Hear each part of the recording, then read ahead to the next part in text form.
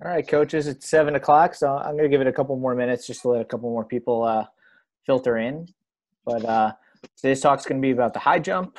Uh, primary examples I'm going to be using are with uh, my my female high jumpers, just because that's just who I had pictures of. Just made it a little bit easier. Um, and yeah, so just hang out. I'm going to have a presentation that I'm going to be sending out as well after. I'll probably have Ron uh, send it out, and uh, it's got a couple of resources in it that are ones that I typically use. So yeah, just you know, hang out for a minute. We'll give it you know another minute or two, and then I'll get started. Everybody see that screen?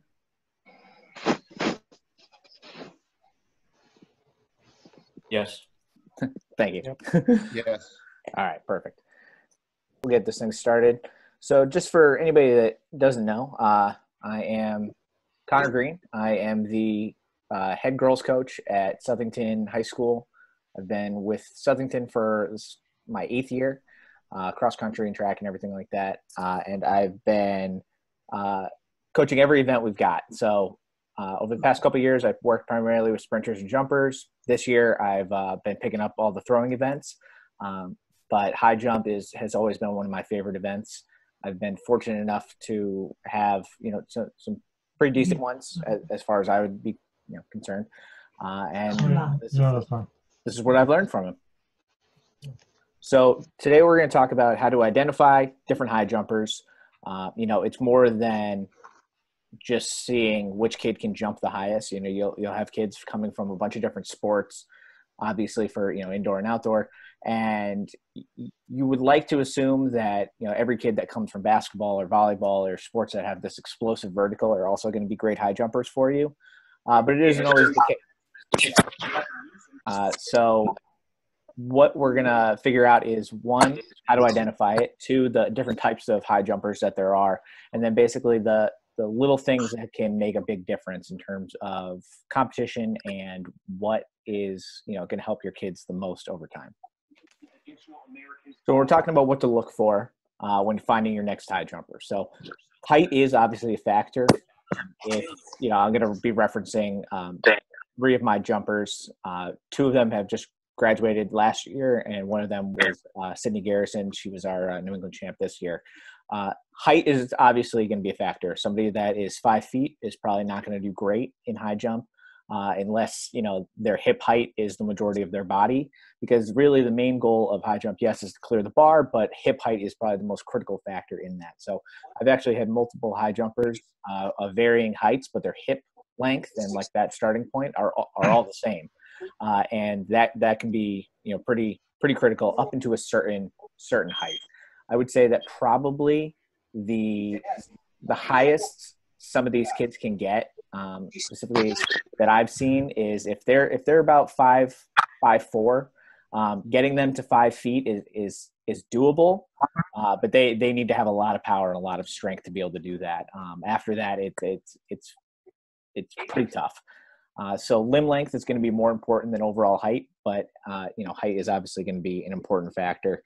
Um, strength and power. Obviously, when we're talking that, uh, one of the biggest challenges is that a lot of coaches don't have access to weight rooms, and if they do have access, it's in very limited amounts of time, or they've got to rotate, you know, 80, 100 kids through that weight room process, and they can't necessarily get the training that they're looking for. So, I know when it comes to certain programs, you may be the only coach doing the jumps, sprints, and the hurdles all at once. So ensuring that you're getting the most out of that work, developing strength, developing power, and overwhelming building that explosiveness, that that's the key.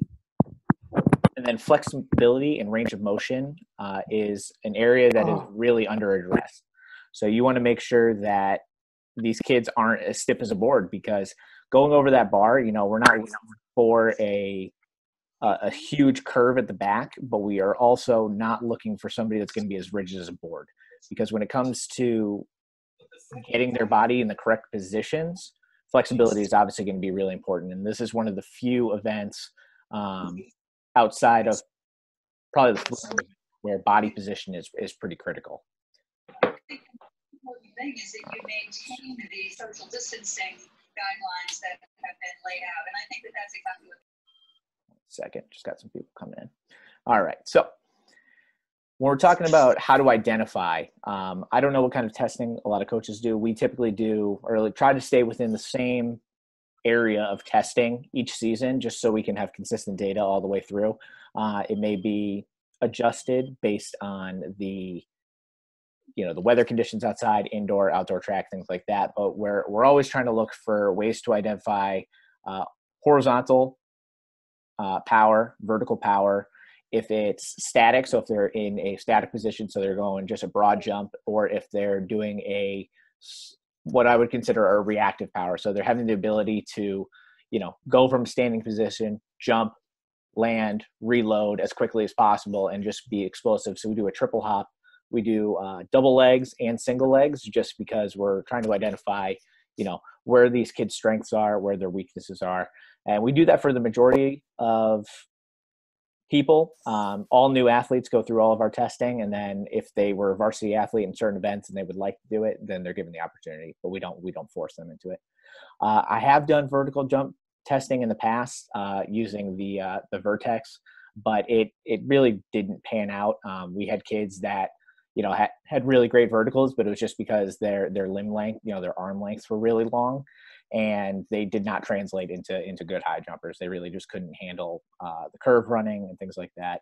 And then uh, we do a 10 meter fly where for my field events specifically for this uh, for the jumpers and stuff i find this is probably one of my most critical uh, testing events because of the you know it's them at their maximum speed. So a lot of the time, especially in high jump, you know, they're not reaching a max speed. Uh, but long jump, triple jump, things like that, you know, they they do. It's it's that it's that takeoff that we're trying to really focus on, and just seeing if they can even generate that much force or that much speed over you know a short amount of time. That that's what we're looking for there. So these are some different testing things you can you can look for, uh, and then you know it's it's not on here just because the idea of actually doing it would probably be more of a challenge than you'd be willing to put up with. But Achilles tendon length is actually a huge indicator of uh, high jump success. Uh, so I forget what book it was I was reading, uh, and it was talking about different studies that they've done over some of the world's best high jumpers. And basically, what they all had in common was the attachment point from their gastroc or their calf all the way down to their heel uh, was was really long. And what that tends to mean is that it's going to be like a piston, right? So the longer it is, the more force it's going to be able to generate. Uh, and that's just something that I've, I've actually, after reading it uh, in, I think it was the Sports Gene was the book it was. Uh, it, I went back and I looked at all my high jumpers, and it it fit. You know, it's it's something that it, it really does make sense. You know, the body's mechanics work in that specific way. So you know, if you have the ability or the time, uh, then just want to make sure that you know you can look at it so it's just more of a fun fact. And obviously there's going to be a q&a at the very end of this so if anybody has any questions uh, like i said i'm going to be sending sending all this out as well. So what i want to do is i want to identify three different high jumpers. So these are, like I said, my three high jumpers from last year. Uh, we have on the left, Allie Brown. She's actually working as uh, an assistant coach for us now, helping with high jump. Uh, but she came from a dancing background, so uh, an area where you know being explosive, being quick is still a very important thing. She was a 402 meter uh, runner for us and relay runner. You know, she ran like a 60 for the 400. So she has, you know, good speed, good endurance, but she was very injury prone. Um, she never did strength training with us. We would try. She would do band work and everything like that. And uh, she actually was competing at Central uh, and was un- unable to continue because of a hip fracture that just like would not heal. Uh, her PR was five three for high jump, and she was about five seven. Then we have in the middle we have Sydney. Uh, she was she's currently our senior. She is 5'10, and I feel like every single time I see her, she probably gets a little bit taller. Uh, I would not be surprised if by the end of next year she was over six feet. Uh, she comes from a volleyball background. She still she played volleyball at the high school for two years, and then uh, she actually got an infection in her spine and missed the majority of her junior year. Uh, but she comes from volleyball background, so she actually still continued to play for an AAU team. Uh, she does all three jumps for us, and she only started lifting seriously with me for probably about a year, year and a half ago. And when I say serious, I mean like on regular intervals. Uh, she still probably wouldn't be able to deadlift more than you know 75 pounds just because of some limitations with her back. Squatting probably could maybe do like a quarter of her body weight. So you know it it doesn't have to be crazy crazy heavy in order to develop a lot of power. Uh, and then our last one on the right, she was the shortest of the bunch at five six. Honestly, maybe five five. Uh, and this is Amanda Brockie. So she had a dance background, but never did any athletics uh, prior to track and field. She did all three jumps for us, and she was about a five foot high jumper. Um, so the reason I brought these three examples of high jumpers up is because all three of them, like I had mentioned before, they had the exact same hip height. So Sydney standing at 5'10, and then these two other girls standing at 5'6, 5'7, their hips lined up perfectly. Uh, and it just goes to show that you know it, it, it's not always about the vertical the vertical height that we're looking for. And because they were all three of them were different types of jumpers.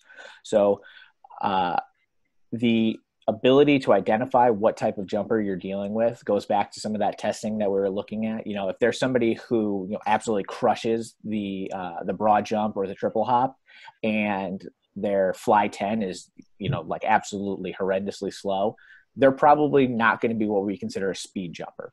They're probably going to be somebody that's more of a power jumper. That was Amanda here. So Amanda was one of our shorter ones.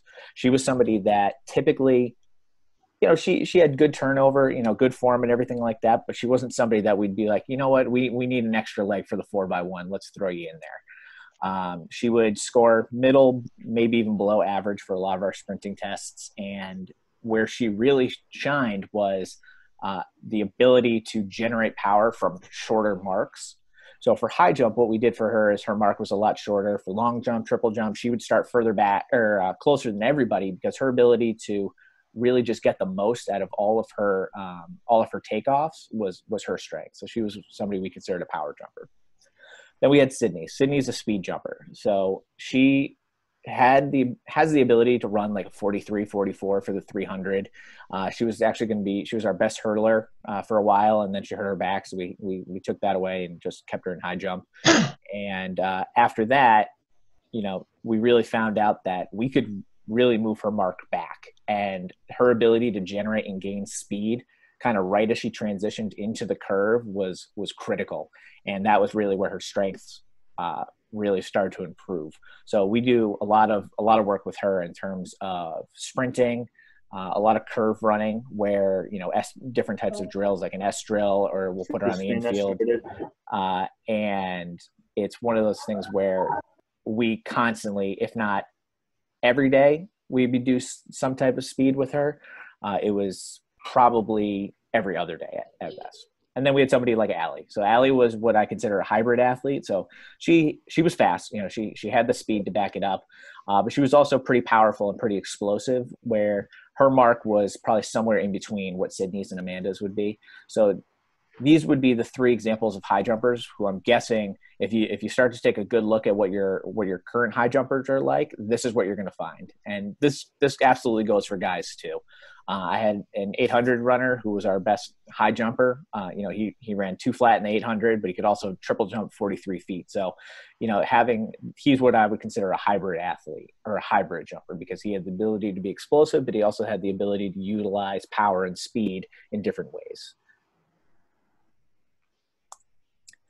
So how to get the most out of each type of jumper? So if we start with the speed jumper, like I was saying with Sydney, then you know they need their mark a little bit further back because in order just like in long jump and triple jump in order for them to to really gain some top speed we want to make sure that they have the ability to get the most out of their jumps right? So if you're starting them off on a short mark even at, you know they could be a sprinter that has just transitioned over um, you know they're not going to be able to get the most out of the the curve there. And what happens is when they start to go slow uh, believe it or not, their form can actually break down uh, a little bit more than if they were just, you know, treating it like they were doing a regular approach.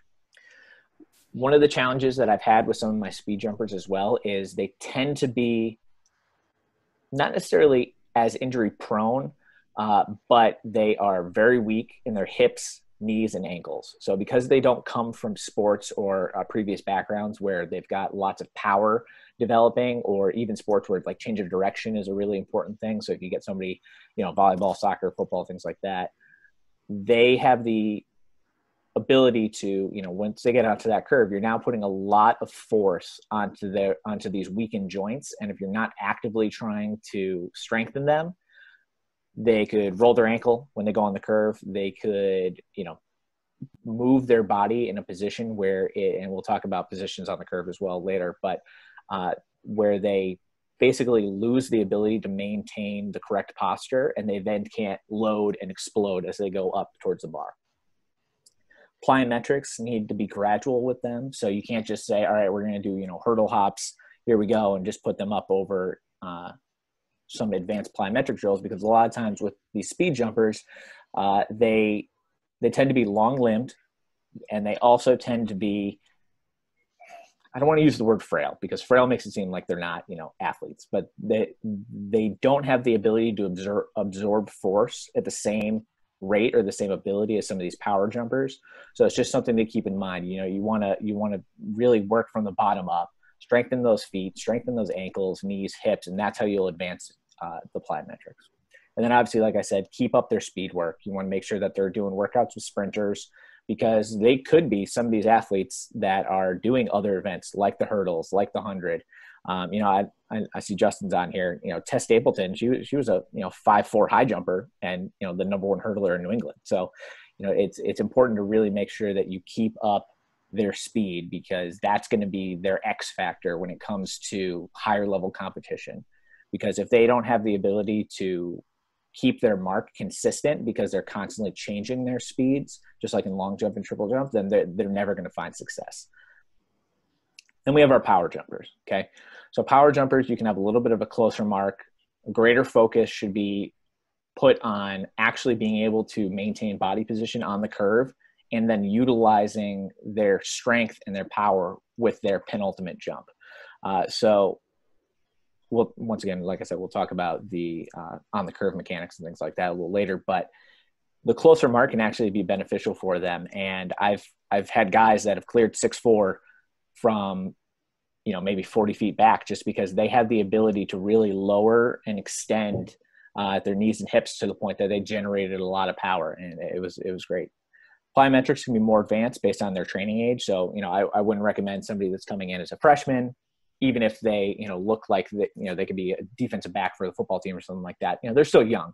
So you want to obviously progress them in a way that's going to be beneficial but you know they may be able to handle a little bit higher a little bit more intense of a workload. Uh, and then keep up their speed work as well because you know for for all these jumpers and everybody in track speed speed matters. Uh, and then our, our, hybrid athletes are, are what we're going to get in between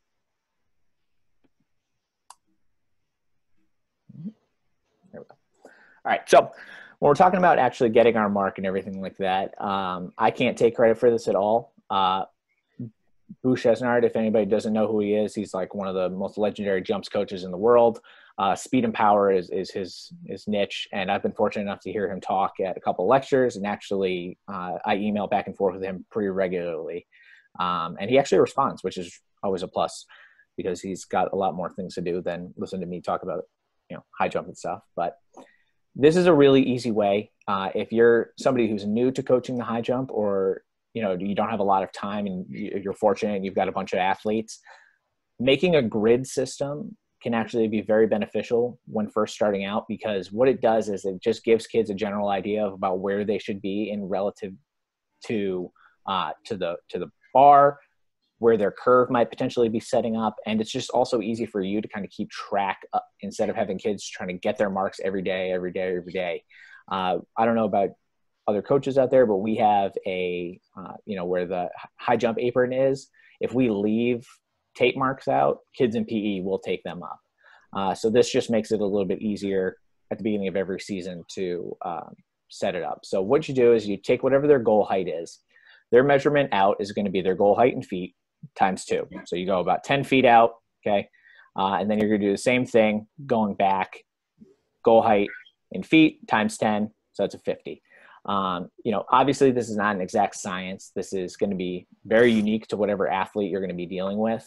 Um, you know, when I'm talking about Sydney, she, hers is 12 and a half back and then 50 or 12 and a half out and then 57 back. Uh, but like I said, she's almost six feet tall. So the taller they get and the higher up they're going to go, you're going to want to go further out and further back. So, you know, she's going about seven seven inches further out. So for her to be at you know that 11 6 to 12 6 range isn't isn't crazy. Um, I think she would be fine if she went to 12, but she was adamant that she wanted to go 12 6. So it's more about just letting her mental uh, state kind of rest where it is there. So she doesn't have to worry about it too much. Uh, like I said, you can take time, make a grid so that your kids can easily find marks because when you're first dealing uh, with new high jumpers, obviously we all want the the high jumper that's going to be you know on the girl side clearing you know five two or the guy clearing six four things like that. But a lot of times what you get when you first start out is the kids that are trying to just clear you know four feet or five feet for the guys and things like that. So you want to make sure that you're setting them up in a way where they can be successful. And, and this grid system really helps because then they see, okay, other kids are at this level with me I can figure it out, you know, and then you can, if you want to get really fancy, you can, you know, do the chalk lines from, uh, from wherever you need to go to really build in that curve and it can be very helpful. All right. So my experience has taught me that the two most important things for high jump is training the curve and keeping the back flat when traveling over the bar. So starting with training the curve step counts obviously can vary based on athletes you know it can be 8 10 12 whatever. Um, uh, sydney does 10 or 12 i believe i think 12 um, you know 14 if there were if there were guys that were going into like the 6 8 range or even higher. Um, but most, most people probably won't be going that far. And obviously you can have the ability to either you know have a nice even split if they prefer to go with an odd number. It doesn't have to be even, but they can go with an odd number. You just want to make sure that their takeoff foot and their um, their starting approach foot aren't going to be the same because then they would have issues. Uh, but training the curve is going to be the biggest thing that affects the jump. Uh, I have a couple more slides as we go on that talks about how small little changes to where the curve is. One, you can identify what is going to happen based on their position when they go over or into the bar. Two, you're going to be able to identify very easily what went wrong.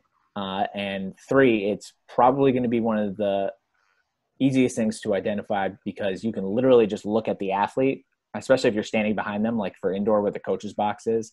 Um, you know, just looking at their body position will tell you everything you need to know. And then keeping the back flat when traveling over the bar.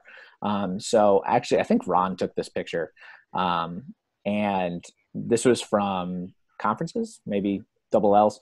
Uh, but if you look, her back is totally flat. Um, and a lot of the times, the the notion of going over the bar is you want to curve your back as much as possible, and that's actually a, a not a great idea because what happens when we curve or have excessive curve of the back is the tendency for the head to drop so the tendency for her head to drop and her chin to go into her chest is going to cause uh, a reaction in her lower body. And what's going to happen is as soon as that head goes down and towards her chest, her hips are going to drop. So if you've ever had an athlete that always hits the bar with their calves, what's happening is they're probably either overextending at their back, like hyperextending at their back, or they're dropping their chin as they come over the bar and when they drop their chin as they come over the bar, it's typically because they want to look to see if they cleared the bar. Uh, and for the longest time, Sydney would get out at these heights, and it would always be because she would hit like right above her sock line. And we couldn't figure it out, couldn't figure it out, couldn't figure it out. And then um, I, I, emailed Boo and I said, "Hey, can you look at some of these videos?" And he said, "Oh, without a doubt, it's she drops her chin every single time." You know, and the second he said it, I couldn't not see it anymore.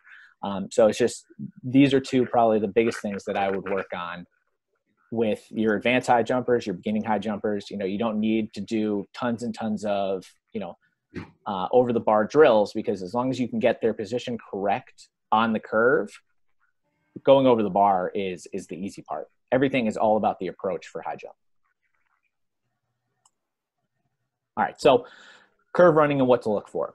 So for the straight approach, obviously we're going to treat it just like any other any other running event, right? We're going to be nice and tall. We're going to be driving those knees out. Uh, but the big challenge becomes how we get onto the curve and when we get onto the curve, are we maintaining the correct position? So the force of, you know, obviously running on a curved angle is going to make it so it's challenging in the sense that if they don't know how to lean into the curve, then what they're going to do, their, their feet will never be in proper alignment. Their hips are going to be in a position that, you know, kind of looking like this upper body out picture where they're going to be leaning almost towards the bar and that's just going to throw them into the bar as they try to you know maintain that curve and then take off. Uh, they could have a little bit too much of a, a, lean where they're at their hips and now they're they're bending excessively in when we try to give that cue of you know you know stay away from the bar as long as possible it doesn't mean bend your whole body into lean because we want to see that lean uh, coming from their ankles and their uh, and their knees, not from you know their middle back and, the, and their hips. So obviously, we see the top or the third picture here is that optimal lean. What is really critical, and I'm going to go back to uh, I'm going to go back. Hang on. Uh, so when they're on this curve and they actually initiate stepping onto the curve, what they're going to do instead of just just immediate, immediately immediately at the curve and what that does is that allows them to position their hips in a way.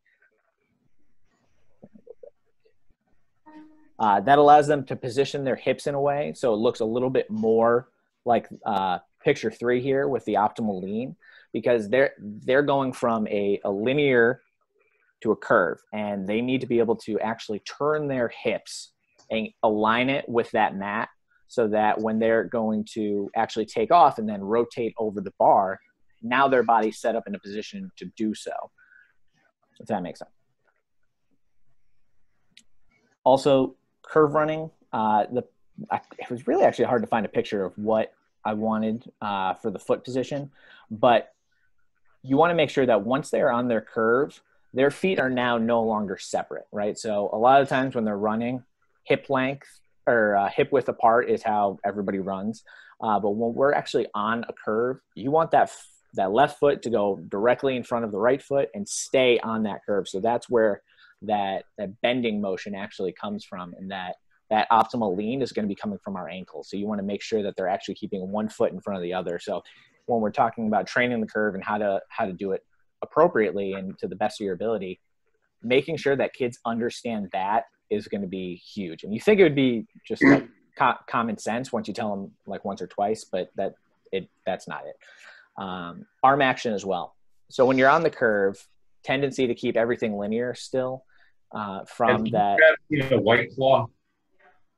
Uh, from that initial. Yeah. Uh, and I'm gonna mute that. Uh, from the initial. I have to takeoff point. You know, at start, the. I'm on camera. We want, hey Norm, do you mind muting that? Sure. Thanks. Um, so you want to make sure that they are actually moving their body in a way that's going to allow for maximum speed to main, be maintained. And arm action is critical with that. So if we kept our body positioned and we were going in a linear fashion, so just straight out like we were doing long jump, and we just had our arms moving side you know, on our sides, that'd be great. But because we've now introduced the curve, what needs to also happen is the if you're coming, we'll just assume they're coming from the right their left arm needs to still maintain that that same you know tight to body you know chin back pocket whatever you need. But that outside arm so that right arm what's going to happen is if you kept going and your body is now on the curve your arm doesn't realize that unless you're changing it so you need to make that arm now come across the body to ensure that one your body position stays at that optimal lean but two if you don't do that now you've got you know the majority of your body going one way and you've got this limb that's going to influence and pull you towards the bar and the outside of the curve, which is not what you want. So you want to make sure you bring that that arm across the body, uh, and and that's huge because a lot of times when you see kids that get thrown at the bar, one of the main reasons is because their their body position just isn't in that in that proper alignment. All right, so examples of some curve running issues and you know kind of how to spot them. Uh, the first one is cutting the curve. So obviously, as coaches, we can't stand directly behind them and we can't get this awesome aerial view of where to look. Um, but what you can see is where they're taking off from, or you can see what their body looks like as it goes into the bar. So you want to make sure that you're getting at least some piece of information from it because if you if you can't even see the jump then you know just giving them some kind of random cue obviously isn't going to help them but sometimes that's all we can do uh, and for this cutting the curve is where they basically instead of ma- making it a nice smooth j they either keep that line straight and cut over or basically their curve doesn't even start. So it literally could just be you know kind of like a like a weird l a little bit closer to figure six here. Um, and it's it's very very common for that. So if your kids don't know how to run on a curve this is what you're going to get nine times out of ten. Um, i've had a lot of basketball players come with this because when they are taught how to do layups and things like that this is a very similar uh, approach run to how you would do a layup. You know you're, you're cutting and now you're heading to the basket. Um, so it's just something where focusing on how to run on the curve how to get your feet in alignment one foot in front of the other can make a really big difference. Another really really big issue and probably the most common one uh, for you know advanced high jumpers of all ages uh, is stepping out of the curve. This is where basically they have the ability to maintain the curve almost all the way through.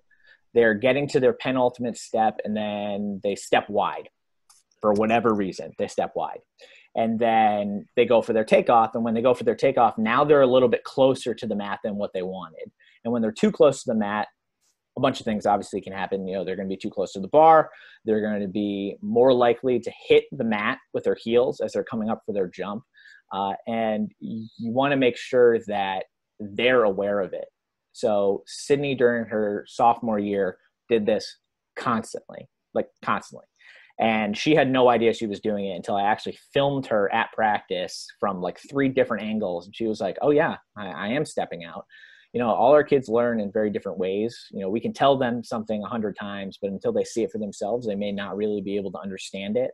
And once they do feel what that correct position's like you know where they really maintain the curve and they're pushing their feet kind of away from uh, the outside of the curve as much as possible it, it really makes a big difference. So like it says many jumpers will step on the inside of the curve at takeoff and some do both all right. So, example of over the bar issues. So, if your kid is falling on the bar uh, at the in the beginning of the flight, you know, there's there's sitting on the bar, there's falling on the bar, and then there's jumping into the bar. Falling on the bar is really really obvious. So it's basically they jump up and it's like okay, they didn't go anywhere. They literally just fall. Their their middle of their back lands directly on the bar. Not safe. Doesn't feel good. They're going to talk about how much it hurts for a long time. Uh, most likely, what's happening is the curve has been flattened.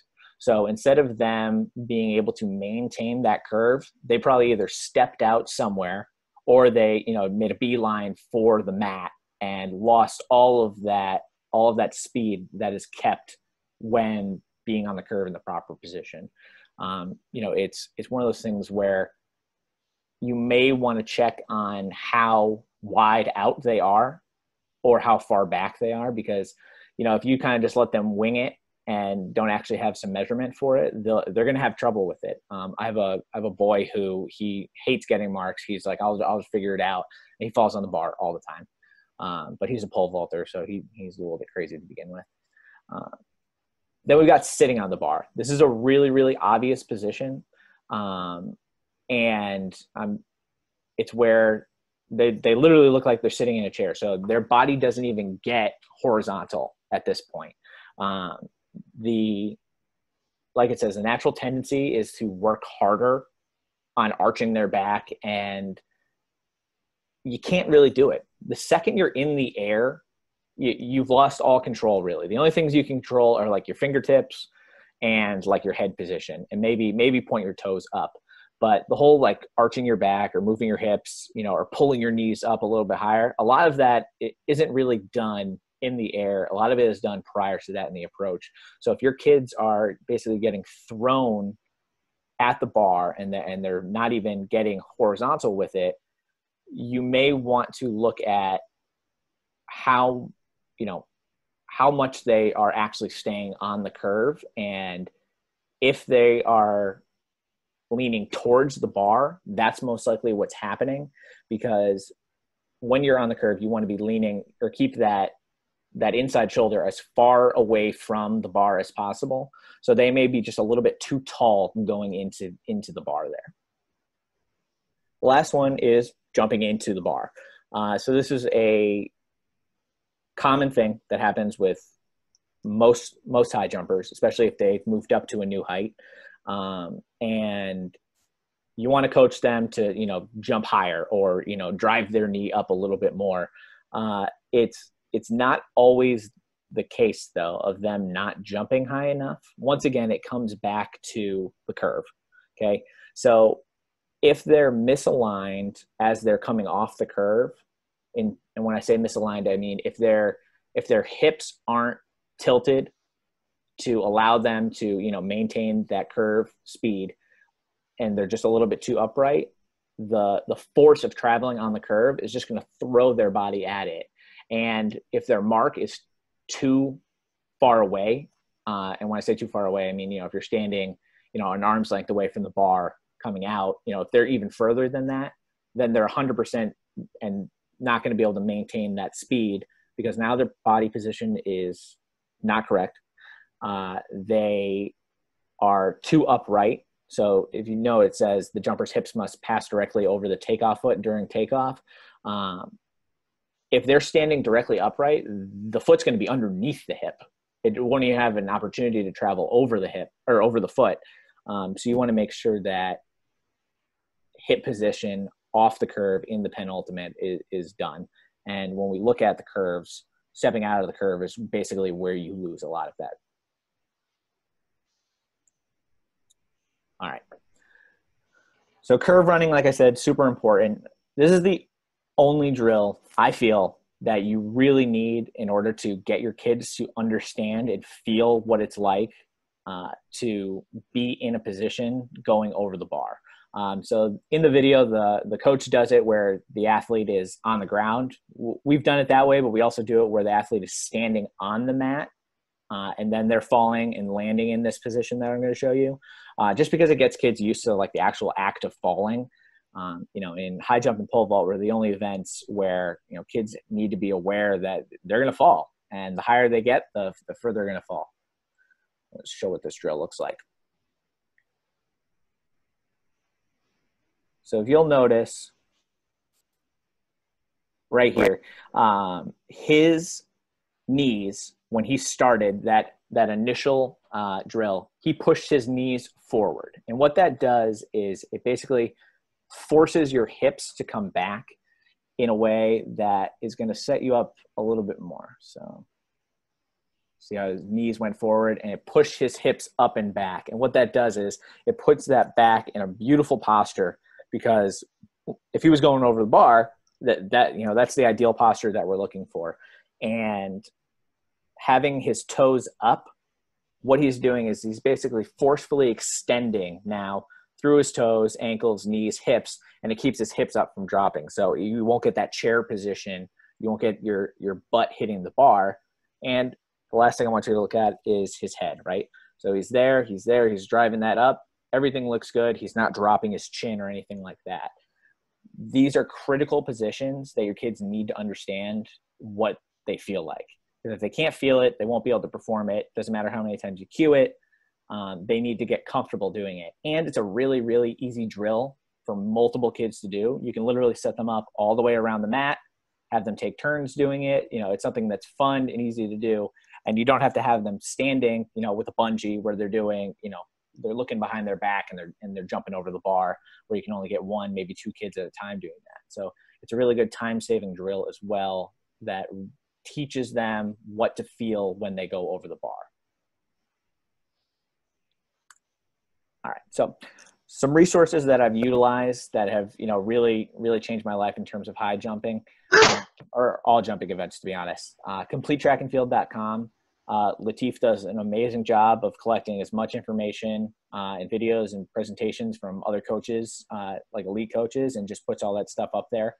Uh, and then uh, sacspeed.com, that's Boo's actual website. Um, and basically, you can get a lot of the videos on completetrackandfield.com on SACSpeed. Uh, but what you can also get is the ability to communicate with him and email him. And he, he emails back pretty pretty quickly, like within you know 48 hours. And this is a guy who's you know traveling all over the world, giving conferences and stuff. Um, he, he's looked at videos. He you know does detailed responses and stuff like that.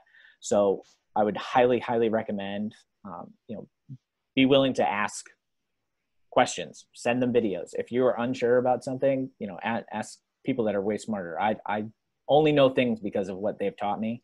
Uh, so just like every coach, you know, we, unless we're you know really revolutionary and creating our own material uh, you know we're just we're taking from the best and doing the best we can with it so. all right so i will open open it up to questions any and all questions Hey, Connor, it's Ron Knapp.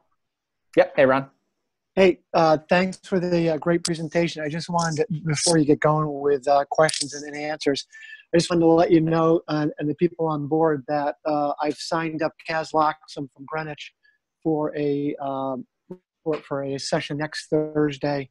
Uh, details will be published, but it will be about mid, middle distance training and competition. Awesome. Okay, thank you. Yeah. Uh, Connor. No uh, can, yep. can you hear me? This is Nick Fraticelli. How are you? Good, Nick. How are you? Good. Um, just have a question. Um, at Danbury, we kind of work with our high jumpers on the same day when we have, especially during during indoor, it's tough. We have access to um, like a gym floor, but um, mm-hmm. we're working with kids. Some some of the guys are jumping five eight, five ten, and the girls, like a good girl, will jump four ten, five feet. Um, how do you manage that? like if you I, am assuming you're in the same position working with both oh, yeah. your boys and girls so to be honest it, it has been a challenge um, i would say that having a bungee is critical you know if you're actually able to set up a mat uh, with a bar and everything like that that's fantastic uh, typically i only do full jumps or um, like jumps where they're really focusing on that stuff maybe once a week uh, a lot of what we do is curve running, body position, uh, and at least for indoor, uh, because indoor, like you know, like you said, it's it's a gym floor. They're in sneakers. It's it's less than ideal positioning. So a lot of what we work on is S drills and having the ability to actually get comfortable stepping stepping out of that linear path and actually getting onto the curve. Um, and when it comes to actually doing over the bar things, that's a good day to uh, and you, you, can obviously switch it up as needed, but for, you know, if, if you do have those guys that are going 5'10, you know, it wouldn't be a horrible idea. Maybe set the bungee at, you know, 5'4, have them go from a short approach and you could have girls using some kind of box or something like that and teach them, you know, body positioning going off a box from a higher, a higher bar or, you know, basically even shifting so that you can split it maybe you know 30 minutes with one 30 minutes with the other. Um, and you know unfortunately just like every event we're trying to we're trying to do our best to give all the kids the the most attention we can. Um, i've also had it where we split them up and you know i'll work specifically with girls doing over the bar stuff where it actually utilizes the mat and then the guys will be doing some kind of like core circuit or you know some kind of plyometric work and then they flip flop like that as well Okay, thank you. Yep. Connor, this is Andrew Masters. How you doing, Andrew? Hey, good. Um, just real quick, uh, you had talked about lifting progression for new or beginning athletes, particularly girls. Um, yep. Can you give me some suggestions for that? Yeah, absolutely. So, when in doubt, body weight has to be the first thing you start with. Um, we have freshman athletes who you know are, are, more advanced than some college freshmen that I've seen, but it's it's all about starting at body weight, then dumbbells, then barbells. Uh, and honestly, you don't really need to get past dumbbells a lot of times. If it's an equipment need, then yeah, absolutely. Um, if you've got you know a football player who is also one of your best jumpers and he's used to lifting heavy and that's great but it's all about bar speed or the speed at which the dumbbells are moving. Um, and you don't have to go crazy heavy. So I'll, I'll use um, Sydney as an example. Like I said, we, we, we didn't lift heavy with her. She's a very long limbed athlete. So having her deadlift from the ground coming all the way up or expecting her to squat and get below 90 degrees, uh, you know, it, it's not realistic, especially given that she's also, you know, she's strong, but not in the sense that she can hold half her body weight in a dumbbell and squat all the way down. Um, so it's all about working with the, the type of athlete you have and making sure that you're taking them through that progression. If they can do a body weight squat, great. Next thing you do, add a dumbbell okay, if they can do a dumbbell, add two dumbbells and just make sure you're progressively going through it that way because the worst thing that we can do is load them too quickly because what they'll start doing is they'll start getting slower. And that's the last thing you want from a jump. You want them to be explosive, you want them to be able to move through the range of motion quickly. Uh, and especially given the limited amount of time that coaches have with their kids in the weight room, you know you may get them to do a workout maybe once maybe twice a week. You know if we're talking you having a full strength coach staff and they got in there four days a week for you know six months okay no you're going to want to do you know some different type of periodization. But you know make the most of what you got. We do maybe four five exercises. Two maybe three of them are explosive types of exercises and then they're paired with just regular you know hypertrophy exercises to help strengthen their uh, their major their major joints Thank you. Yep.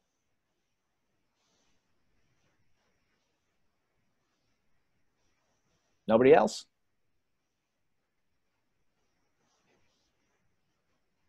Actually, quick question. Um, Yeah. Can we get this uh, PowerPoint from you later on? Yep, I'm, I'm going to send this out uh, directly after this with uh, the recording as well.